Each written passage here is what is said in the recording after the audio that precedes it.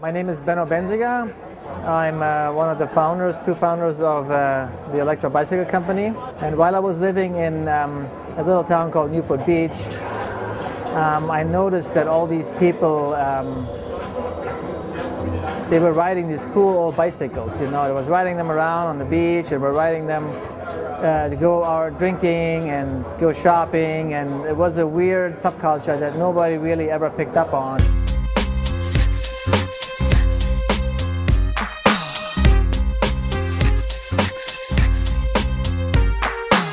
Always want to do something that nobody's ever done. When I go to my factory and I say, I want to do this, and they go, oh, we can't do it, I know I have something new.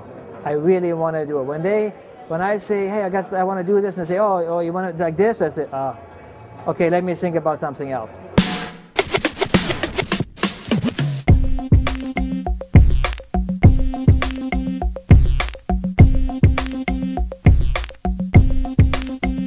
I spend a lot of time working on the right ride and the ergonomics and the feel of it and the right parts, the right way to build it, you know. And the rest of the inspiration is really from everywhere. I mean, it, it could be a handbag, it can be a Vespa scooter, it can be a motorcycle, it can be some cool pinstripe artwork, some old hot rods, you know.